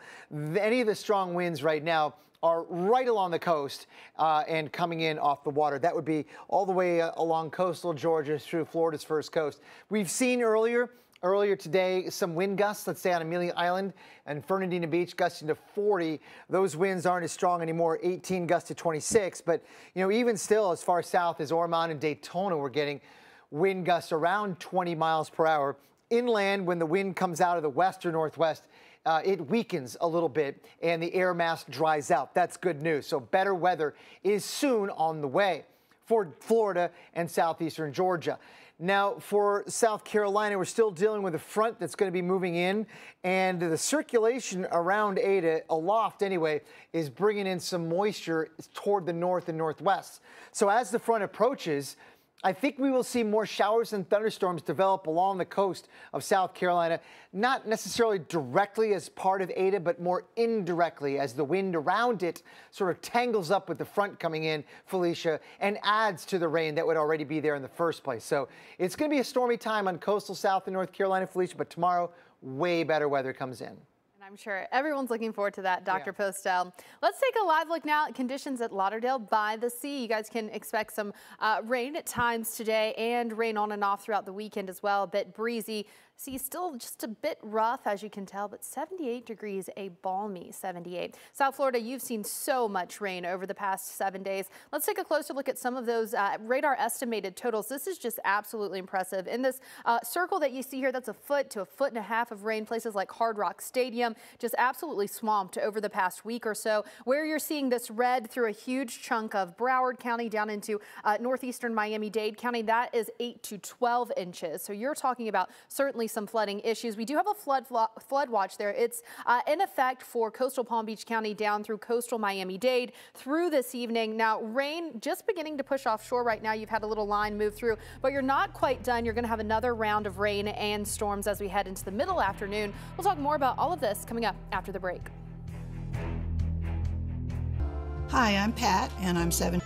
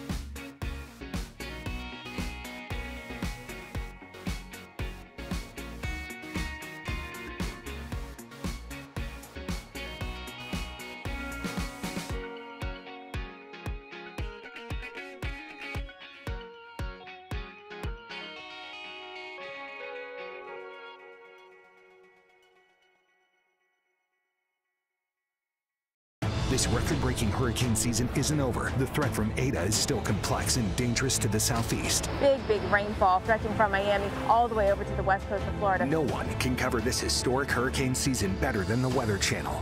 Get the information you need to stay safe all week long, right here on the Weather Channel. New video from Charlotte, North Carolina, where torrential downpours are flooding highways. You can see here vehicles stalled along the highway in those floodwaters. Now, other vehicles driving through the water which of course is what we tell you do not do. Uh, turn around, don't drown, find another route because uh, while they're making it right now, you see that some uh, vehicles did not make it and that is absolutely not the situation you want to be stuck in, especially when you're not done with the flooding risk. That water could continue to rise as the rainfall is still falling in places like Charlotte. Now, will it begin to taper off? Yes, it will. That's the good news, but it's not tapering off as quickly as expected. So this flash flood warning that was set to expire fire at 11 a.m. has been extended until 1 p.m. because the rain is still falling there in the Charlotte metro area. We've really had pretty large population centers impacted by these flooding issues so far this morning. Uh, Durham, Raleigh, Durham, you guys are under this um, this flash flood warning as well. Back into Sanford and Pinehurst, you can see I-73 included in a portion of that flash flood warning.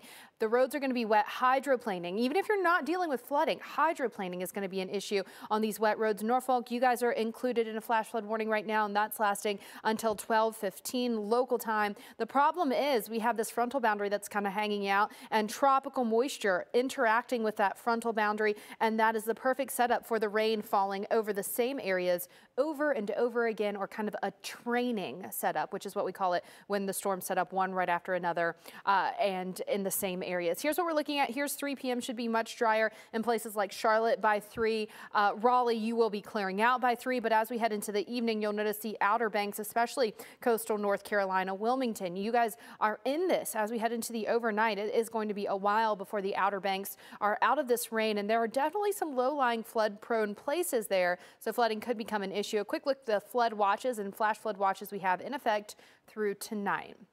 Now, Eta made landfall earlier this morning, striking the west coast of Florida, bringing heavy rain, wind, and storm surge to the Tampa area.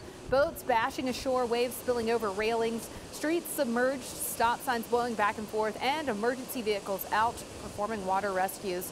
The Old Port Tampa gauge actually tipping its all-time high of 3.87 feet. Yeah, record storm surge there. Joining us live from St. Pete Beach to talk about Eta's impacts is meteorologist Mike Seidel. So Mike, you've been talking to a lot of residents in that area and uh, a lot of them have said, you know, uh, for a tropical storm, this has really uh, created quite a problem. It has. In fact, we talked to one gentleman earlier, uh, Steve Gordon. He said he's been here 16 years, and this is the worst he's seen it. But keep in mind, Tampa hasn't had a direct hit from a hurricane in about a century.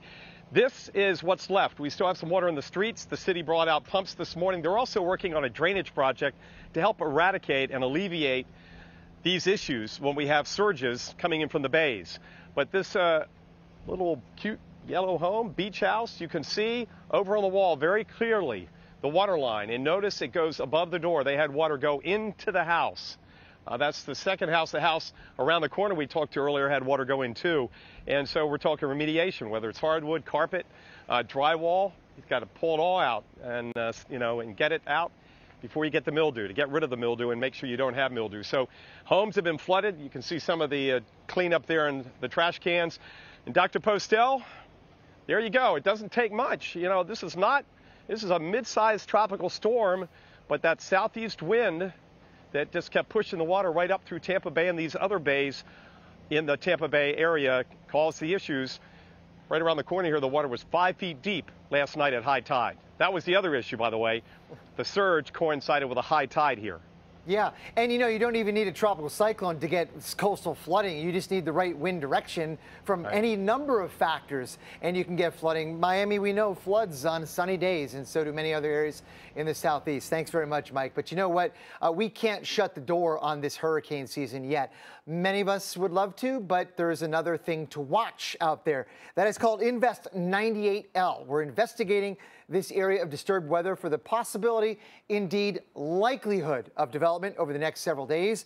It is this blob of spin that I contoured in here. That area of blue and green is a measure of the atmospheric spin aloft. And what I'm looking at right now, when I see it like that, and when I put the wind around it, kind of circulating in a counterclockwise way, maybe not all the way around, but close, there's enough turning in that wind and enough thunderstorms in the area to say, you know what? I think we got a ourselves our next depression. Now, it's not happening yet, but there's a 90% chance, according to the Hurricane Center, of it happening over the next five days on a path like that. Our next name would be Iota, and I do believe we have Iota staring us down once again here. This would be the next name storm moving westward across the Caribbean like we've seen before. This would be a problem. Let's just assume here that the forecasts are pretty good with this one, that iota, let's call it iota, moves into Central America late in the weekend or early next week. It would very likely bring a ton of rain to many places that just recently dealt with a ton of rain from Hurricane Eta. We'll be right back. Breaking news now. This is video of uh, emergency crews rescuing a family from flooding in Iredell, North Carolina. Just watch what happens. The floodwaters, flowing floodwaters, wash this shed away. That just goes to show you the sheer force of water. Uh, the flash flooding has been ongoing for quite some time. You know, you see the flooding of those uh, flood prone areas and then also you see the swelling of rivers and streams. Also breaking now, the Queen City has been absolutely swamped by rain this morning. You can see the water uh, pouring down onto the highway there. Just absolutely, yeah, looking like waterfalls in places that are not supposed to look like that. We've seen water rescues so far this morning. Water has been in homes. Uh, certainly some accidents related to the rainfall. Hydroplaning becoming a big issue as well. And not just any kind of rainy day in Charlotte, but record rainfall for Charlotte today. So far, we have seen the wettest November day we have ever seen in Charlotte, nearly four and a half inches and counting as the rain has not uh, subsided just yet there in Charlotte. Some of the higher amounts here where you're seeing those bright orange specks, that could be five to eight inches there around Winston-Salem there near Greensboro as well. And then as mentioned, that rain has not stopped falling in places like Charlotte down into Rock Hill. Now, are you on the, uh, the back edge of it? Is that going to be moving through and clearing out soon? Yes, it will, but not soon enough to end this flash flood warning. It is lasting until 1 p.m. there in Charlotte, so you guys have a little while longer to go on that flash flood warning. We also have a flash flood warning in Cary, Durham, and Raleigh, so that area where you're seeing that rain. And here's the problem for you guys. It's lasting until 2.15, so you have quite some time, and you'll notice that rain shield still well back to your north and west. We're clearing out today from the west to the east, so places the farthest east are going to take the most time to clear out. Norfolk, you're one of those places.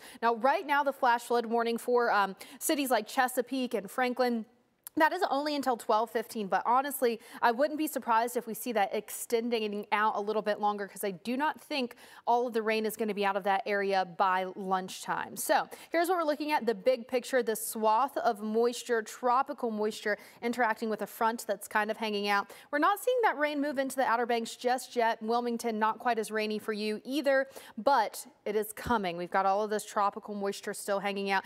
Here's the good news, though: dry air. All of that orange is much drier air building in behind a more vigorous front that's going to sweep through. But first, we've got to deal with all of this rain. So rain really picking up through the afternoon, 2, 3 o'clock around the Outer Banks around Wilmington. And then once that gets started, it's lasting into the nighttime hours. And you can see there the general direction of clearing is from the west to the east. So tomorrow, a much better day. But today, anyways, and into tonight, we do have flood watches and flash flood watches from all of this tropical moisture. And Dr. Postel, you know, I think at this point, we've been talking about Eta for uh, I don't even know how long, but it has far-reaching impacts. This tropical moisture uh, causing flooding, so a lot of things going on still. Yeah, a lot of things. In fact, we're moving uh, Eta right now through northeastern Florida. It's probably just a little bit north of Jacksonville as we speak. But if you look back since, let's say, about midnight or 11 p.m. last night, uh, Eta was still offshore at that time and then eventually crossed the coast just after 4 a.m. Eastern Time near Cedar Key and has since now moved over land and weakened even more. So we're really not dealing with much of a wind event anymore. There's still plenty of rain offshore and a southeasterly wind across Georgia and South Carolina that is bringing moist air into the region, giving us an opportunity for more rain later on today. But the vast majority of even the rain is offshore, the kind that's directly tied to Eta, and it will likely stay offshore. Now, Eta will be involved in helping the front that's coming in produce more rain than it otherwise would. But the actual rain, the core of Eta, is now moving through the region here in Northeast Florida and soon to be entirely off the coast over the Atlantic. Fernandina Beach, Florida, Amelia Island winds are out of the south at 15 miles per hour. A couple of hours ago, we saw gusts there at 40. Overall, the winds along the coast are weaker now even than they were earlier this morning. We're dealing with 20 mile per hour wind gusts generally, and the winds out of the west as Eta moves away, the winds out of the west are even weaker than that and will begin to dry everybody out. That's really good news. Better weather is soon on the way. As we track Eta through the next few hours, again, the core of the precipitation associated with it is right here, and that largely stays offshore. All this stuff to the north right here, that's Felicia, that front that you've been talking about all morning long, moving in and finally moving offshore, we think, by overnight tonight with better weather tomorrow for sure. Thanks, Dr. Postel. And it's not just the rain that's a problem. We can't rule out the risk for isolated tornadoes today either. We'll pinpoint the areas at risk for severe thunderstorms and time out the arrival to your area. That's coming up. Let's head to Lauderdale by the Sea now, where you can tell it's still a pretty breezy time there. Do have a little bit of wave action. The first thing you'll notice, though, those dark skies, some rain is possible today.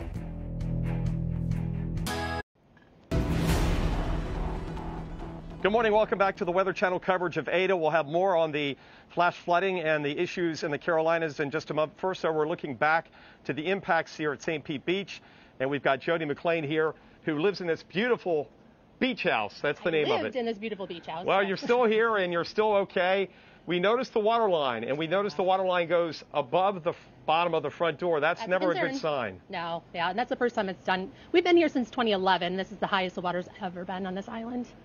And what was your, um, what were you doing last night when the water came up? Did it come up very fast? Because that's so what we've been fast. told. I Yeah. mean, usually we have more time to prepare and we have a pretty good evacuation plan because this is a flood-prone area, but it was so fast, so we didn't have time to react. So we panicked and actually ran next door with our dog. The water came up that fast. I remember looking out during a movie, and it was maybe up to the, the driveway, and Uh-huh. I came out a half hour later and looked, and it was all the way up to the door. So within 30 minutes, it went that far, and then it just started coming in the house, and it it came in so fast that we panicked and ran. Well, you've been nice enough to let us go in and Yeah, if show our viewers at home, mess, that's up see this mess, and um, be thankful you're okay. right. You there uh, wasn't a place in the house that go ahead in, and affected. I'll try to keep the microphone ahead of you. Wow, look at this. Yeah. Well, you can see the water line even on the chair of how high it came up. Look at that. There's a water line on the chair. Yeah. That's a pretty good indication. And we're just waiting for the insurance adjuster to come out before we clean. So you've got these are laminate or hardwood? It's a hybrid hardwood floor. I'm not sure exactly And what to there, call it, but want to walk back there? Sure. Go ahead. Go ahead. Lead the way. going first, all right. Give us a little tour here. There's your sister. There's Hello, sister. sister. Hi, how are you? How are you? What's your name? Tanya. Hey, Tanya. Nice to uh, see you. And so you got everything up on the up here on the couch. Yeah, we tried to do a little damage control, but and here's the back bedroom, and this was completely underwater. Actually, there's not a house or a room in the house that wasn't underwater. Well, six it, inches. it doesn't look like it got up to the. Is it drywall or uh, plaster? Well, I think right Oh, I here- see. I yeah, do see a little see bit it. there. So there's going to have to be some Kind of what I remediation, I, I Oh, yeah. suspect, Yep. because of the issue with mold. Yeah. Ooh, that's close. So what's the status on your insurance? Uh, I called first thing this morning as soon as we could get over here and uh, kind of assess the damage. And uh, they're supposed to send out an adjuster within 24 hours, and I'm sure they're being bombarded right now. So. Yes. Yeah. Well, we're glad you're okay, and I'm thanks so much for okay, uh, showing us what you're going through and went through. And it's just, you know, like you said, it came up so fast. You ran next door with your dog. Yeah, exactly. Yeah, we just kind of panicked and grabbed a couple of things and our dog and sloshed across the, the lawn to the neighbor's house. So, taking it one step at a time, but that's the hazards of living at the beach, I guess. Yeah. You pay for the paradise sometimes. Yeah, that's right. Okay, Jody. pretty hard. Thanks, so guys. much. Okay, Dr. Postel, once again, it came up fast, as she said. They ran next door uh, at the power of water and high tide, too. It came in at high tide, which was uh, one of the disconcerting things. Had it come in at low tide, the, the tidal range here is about two feet, I believe, yesterday. So it would have been about two feet lower, and this house would have not had water in it. Yeah, I mean, I've seen and I've heard the analogy from very respectable scientists on storm surge, likening it to a tsunami. Now, not all the time, but sometimes under the right circumstances, you can get that kind of dramatic and rapid water rise exactly as these folks were describing. That's kind of terrifying, and I'm glad they're okay. Um, but Mike, that's thanks for that reporting. That's great stuff. Gives you an idea of the dangers of flooding with landfall and tropical cyclones. One of the other dangers is severe weather, although this severe weather today is not directly associated with Eta. It's kind of uh, peripherally associated with it. Um, there's a front coming in, and Eta's helping the air mass get a bit more unstable. Um, but that's what we're looking at. The chance for some severe thunderstorms today across parts of eastern South Carolina and eastern North Carolina, uh, but in a shrinking and contracting zone. I've been talking about this all morning. Initially, the area was drawn pretty large, and I figured early on that it was really going to be about the eastern half of that zone that was going to be most at risk. And the area that I'm talking about is here. So not all of the rain, let's, let's say that's from uh, Raleigh on westward or Columbia on westward, all of that rain behind that zone that I drew in here is stable-ish rain. In other words, it's the kind of rain that's in an environment that's not going to support severe weather, so we don't have to worry about that. Flooding, yes, but not severe thunderstorms. Those, if they're going to happen, are going to be much closer to the coast, I would say along and to the east of I-95. There is the sort of setup. There's the front that I was talking about moving in from the northwest. This is the flow around Eta that's kind of uh, helping out indirectly the uh, chances for severe weather, bringing in some moisture off the Gulf of Mexico, leading to a greater instability ahead of that front. But really, it's all going to have to happen if we're going to get severe weather where the winds are still out of the south or southeast. And again, that is basically east of I 95. So watch out for the possibility of some severe thunderstorms in that zone for a few more hours.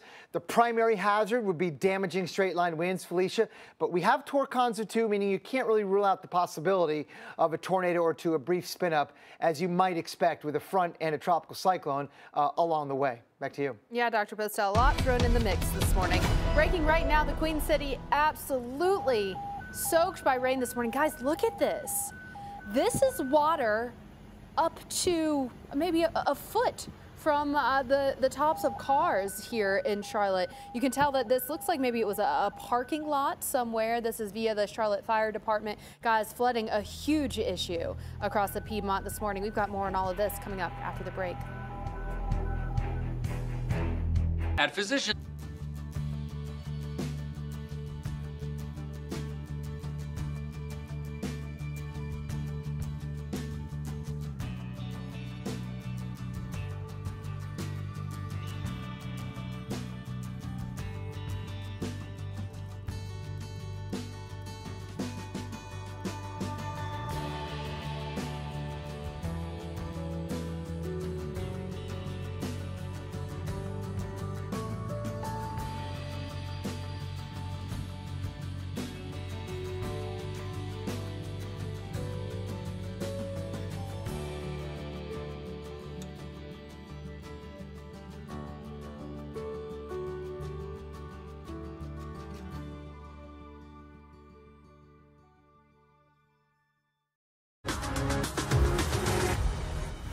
Welcome back to Weather Center Live. We got some new video from Clearwater, Florida. Take a look at this. If you can see debris, that's Eta's surge that's washed it up onto the road.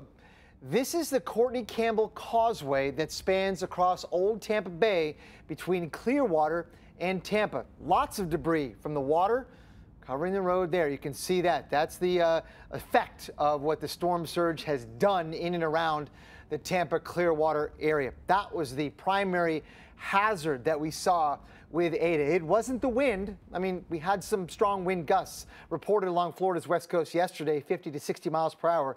But it was the water that did the damage that you saw that will be mostly responsible for the, uh, the economic loss in the region, I'm sure. How much of the hurricane season do we have left? Everybody wants to know that question. I want to know that question. And normally, on the calendar, you could say mid November, okay, statistically speaking, because it traditionally ends November 30th, we got, I don't know, 3% left. Yeah, but it's not that way this year, is it? It seems to not uh, have followed 2020, the rules uh, that have been set for us before. So, yes, statistically, we have a little bit left in the hurricane season, but I have a feeling that we are not even close to done with the 2020 hurricane season. There's more out there, and the next one to be named, I think, is going to be done so in the next couple of days, and it will be Iota. So get prepared for a new storm, Iota, in the Caribbean that is right now Invest 98L. You can see that swirling around there. It's got a whole bunch of angry thunderstorms there, and it's got some measure of spin. You can sort of calculate that out aloft. The winds aloft are kind of maybe not rotating around in a complete circle, but certainly curving around. That counts as spin, and we've got that in the region, right? So when you add the thunderstorms in this environment that's kind of spinny, and you've got other factors in play. Yep, we've got an area to watch very carefully. 90% chance of developing into a depression or a named storm over the next five days, likely on a path like this. We've seen this before. This is very similar to the path that Eta took across the Caribbean. That's a problem for interests in the Central American region of Nicaragua and Honduras. Let's play this out according to the Euro model, which is right down the path of that area outlined by the Hurricane Center. It is very possible that we'll be dealing early next week with yet again another landfall of a named storm in Central America, bringing all kinds of heavy rain into some of the same places that saw a ton of it with Eta not long ago. So here's the Euro model forecast for the amount of rain. Now we know typically model forecasts of tropical cyclone rainfall underdone. So imagine this being an underestimate of what we think we'll get with this, assuming it develops the way it does. We could be dealing with a, massive amount of rain once again, Felicia, uh, in a similar place to where Eta delivered its devastating blow across the region. This is Eta's rainfall, but Felicia, you can imagine one after the other, really bad news to the region. Yeah, one really bad news, a second even worse. Thanks, Dr. Postel. Well, new video now of torrential floodwaters in Taylorsville, North Carolina. Yeah, this is exactly what you do not want to be caught in. If you don't have to be out in uh, this area, Charlotte, uh, Winston-Salem, Raleigh-Durham, all of those places, stay in because flooding has been an issue. The roads are wet and it has been a dangerous situation. We've had reports of water rescues on and off all morning. Now, the good news for a place like Charlotte is the rain is beginning to taper off. This rain shield is going to continue moving off to the um, east. So we'll start to see that clearing from west to east, but still that flash flood warning in effect for about another hour in Charlotte. Flash flood warnings all through the Carolinas from the Piedmont into the coastal plain, stretching up into Virginia. As you can see, that swath of rain still sticking around quite a bit. And it seems like no matter how much we tell drivers to turn around and avoid flooded roads, we still see the images of people getting caught in potentially deadly situations. So this is a reminder that you don't need the warnings, uh, but you need to heed these warnings that bad decisions could be your last. We hear it again and again, and quite frankly, we're tired of telling you about it. Stories of people encountering dangerous floodwaters and then attempting to drive through them anyway, only to find themselves trapped, putting themselves and the first responders in danger. Some even drive around barriers thinking they can make it across. The force and power of water is always underestimated. That's why the barriers are there in the first place. Let's face it, more than half of all flood related deaths happen when a vehicle is driven into dangerous floodwater. It only takes six inches of flowing water to knock a grown person off their feet. And it only takes two feet of moving water to float just about any vehicle, no matter how big you think that vehicle is. It'll go right down the road. So remember, approach flooded roads and intersections with caution. If you're in doubt, turn around, because the alternative just isn't worth it.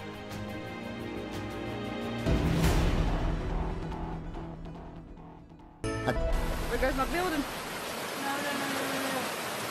There goes my building. There goes my building.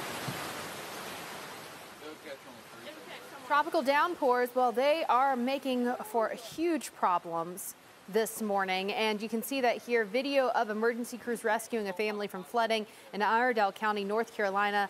If you didn't hear exactly what the woman said, she said, There goes her building. You can see that shed being washed away there by that briskly moving water. Not just there, though, but torrential flood waters in Taylorsville, North Carolina as well. Look at this flowing water. That is certainly enough to float your car, to knock you off your feet. Flooding has been the word all across this area this morning. The Queen City has also been just absolutely swamped by rain so far this Thursday morning. Look at this. This is water up to nearly the um, tops of some of these cars. You can even see that one car still has its um, windshield wipers on. I really hope that there was no one left in that car.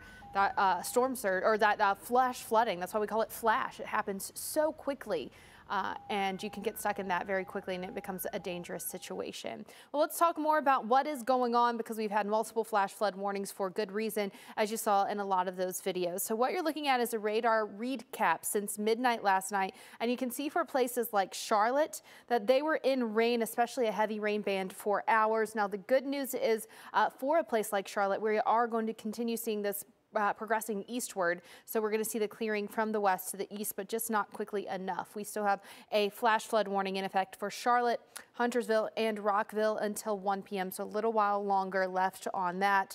Uh, but the good news is the rain is beginning to taper off there. The bad news is swollen rivers, swollen creeks are still going to be uh, causing issues. Places that are flood prone uh, are going to have that standing water around Durham, around Raleigh, back into Sanford. Pinehurst, you're included in that flash flood warning as well. And it doesn't stop there. We have flash flood warnings stretching up into portions of Virginia, Norfolk, Portsmouth, uh, Chesapeake, all included in that. Now, this is expected or it is scheduled to end at 12:15, so we've got about 15 minutes left on that. But I do suspect that it's going to be extended as you guys are stuck in the rain, and you're going to be stuck in the rain for quite some time. So here's our swath of rain. We've got a front that's kind of hanging out, and that moisture being enhanced by all the tropical moisture that we have around. Now, the good news is all of this dry air is trying to make its way in. We have another more vigorous front that's going to sweep through and clear things out as we head through the nighttime tonight. But we've got to get through all of this tropical moisture for, first. So let's time it out for you.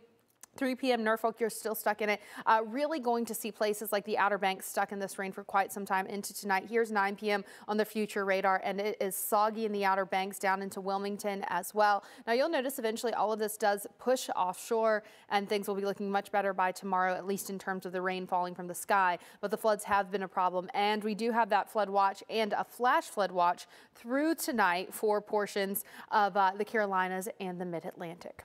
Well, it doesn't take long for the flooding to turn dangerous, of course. Our Chris Warren breaks down the factors that make this a reality. Every thunderstorm begins with a single raindrop, but trillions can follow and all that water rushes downhill. The early makings of a disaster. And it doesn't need to be raining where you are. A street like this in a valley can funnel the water, creating a dangerous setup for a flash flood. Heavy rainfall is the main ingredient in flash flooding. Other factors include building in a flood zone, improper drainage, and ground that's just too wet and can't absorb any more water. And this happens fast. Now look at the street. The water is business to business here, wall to wall. Whoa, what's this guy doing? And this water is about six inches now, and that's enough to stall vehicles and even float vehicles in some cases. You're gonna lose control, and you don't wanna be this guy. So if you come to a street that's flooded, turn around, don't drown. More than half of the deaths from flooding each year occur in vehicle. And the water's still rising here. In fact, it's enough to float pretty much anything away that's not bolted down. At two feet, it's gonna carry away uh, even cars like this. Oh my gosh, look at this. This is an SUV, and the water is high enough now to carry SUVs and pickup trucks. And this water is well inside these businesses, and this is scary. This is bad. That's not good to see something like that. We're talking some immense destruction with the force of this water. It can carry debris for miles, entire trees. In fact, water flowing at just 10 miles an hour can produce the same force as winds blowing at 300 miles an hour. Look at this. This is a huge log coming down the road and so scary. You never know it's even in the water, but you can see some of the larger objects, including a truck right here. Absolutely life-threatening situations that come with flash flooding. And unfortunately, more heavy rain events are occurring due to our warming climate. So you are more likely to be caught in this situation. If you ever do get stuck in a flash flood, try to stay calm. Get as high as possible and make yourself visible while you wait for first responders. Heavy rain events are predicted to be 40% more common for parts of the country within this century. Just as quickly as the water came up, it goes down, leaving behind a muddy mess of debris and dangers like sharp objects, hazardous waste, also a big concern, and down power lines. So follow the forecast and remember, when a road is flooded, always, always turn around. Don't drown. A lot of people needing that reminder this morning. There's a severe area that we're also going to be watching closely today. Dr. Postel, you're going to take a look at that. Not only the flooding going to be an issue, but in some places they're going to have to keep an eye out for those severe storms as well. Yes, I think you're right, Felicia. Eastern South Carolina and eastern North Carolina, roughly along an area uh, along into the east of I-95. So that includes Myrtle Beach, Wilmington, New Bern, areas in between. That's where the greatest chance for some severe thunderstorms exists today. But the Storm Prediction Center went out ahead just recently put out what's called a mesoscale discussion for essentially this area. Uh, and they're saying, you know what, a watch is probably not going to be needed. That's good news. That means the risk for severe weather is not particularly high. It's kind of marginal. And we just have too many clouds, too much instability, too much mess here to really support any organized severe weather. We don't have any in progress. That's good news. A lot of heavy rain, flash flooding. Felicia's been talking about that all morning long. Very dangerous weather with that. But in terms specifically of severe thunderstorms, it does not look like they are going to be much of an issue today.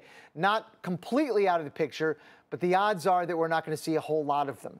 We do have that front coming into an air mass, according to these shades of orange and red, that is very moist overall. And there is Eta, or there it was at the last advisory, and that's bringing in some additional moisture out of the Atlantic. So we're getting a lot of moisture transport into a zone out ahead of that front, which is leading to some growing instability in these regions in orange and yellow. That instability not high on the scale, but it's enough to support severe thunderstorms if we could get any to develop.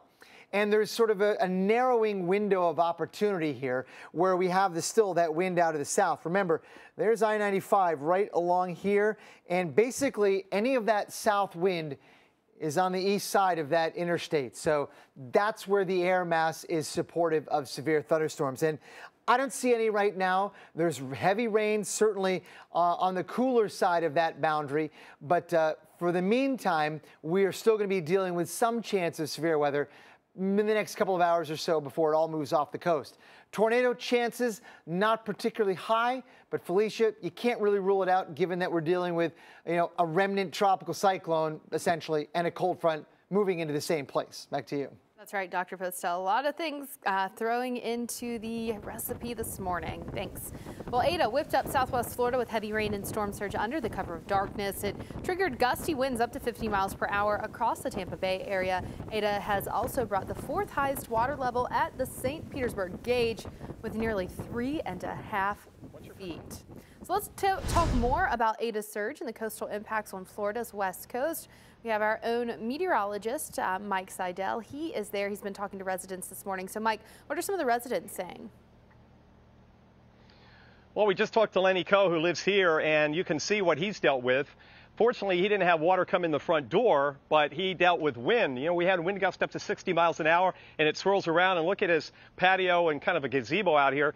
Uh, this took on the wind and also water. It's still holding some water. There's the ceiling fan down at the ground.